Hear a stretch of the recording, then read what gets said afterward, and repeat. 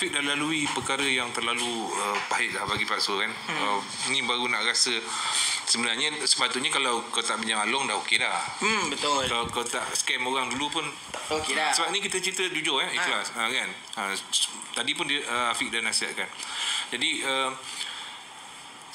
kekuatan daripada mana kau berjaya? Afiq berjaya daripada kekuatan mana? Sejujurnya lah Saya berjaya Kekuatan yang ada pada saya adalah Isteri saya Walaupun saya jatuh macam tu Dihina Kan. Susah Isteri tak tinggalkan saya. Oh, Dia cakap tak apa Yang sabar. Rezeki tu ada. Mak mertua saya Mak saya pun cakap sabar Fiz Sabar. Rezeki tu ada. Usaha je.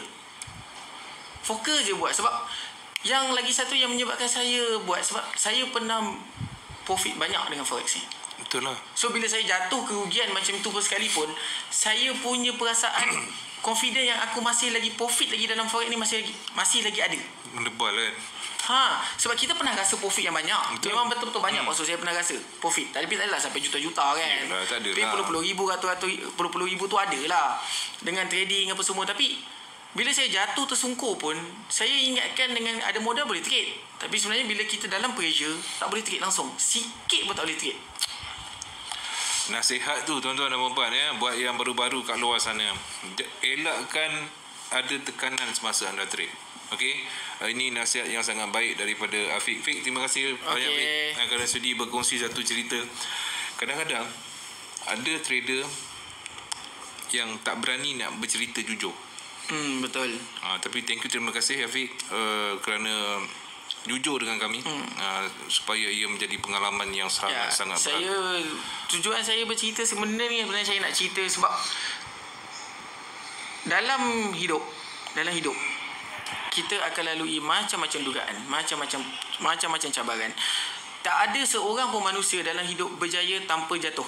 Yep. Semua akan melalui kejatuhan. So antara reason saya cerita ni adalah supaya pendengar di luar sana tidak mengulangi apa yang saya lalui. Itu yang kita sebenarnya. Itulah. Tak supaya tak lalui apa yang saya lalui tak. Supaya kalau kawan rasa kalau anda rasa anda boleh buat teruskan. Go ahead. Tapi bila saya dah terjebak dengan macam-macam dengan scam dengan along dengan itu semua memporak perandakan saya punya kehidupan. Ya.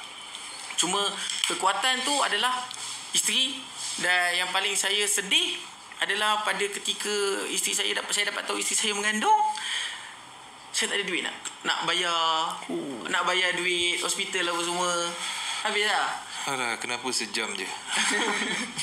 tapi alhamdulillah lah hmm. uh, daripada trading tu dapat sikit-sikit dapat bayarkan duit Alhamdulillah. uh, dapatlah bayar isteri saya punya operation apa semua kan so dia lah yang dia ada sampai sekarang dan pada awal trading yang saya dapat profit banyak-banyak pun saya banyak berkongsi dengan dia walaupun sebelum kahwin Yep.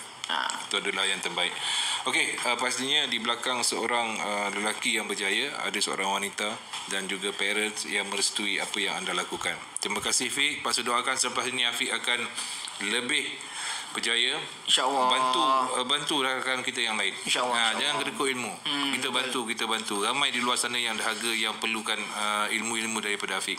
Ya. InsyaAllah, insyaAllah boleh. Baik, Dipuan terima kasih Fik dan uh, kepada penonton terima kasih uh, kepada yang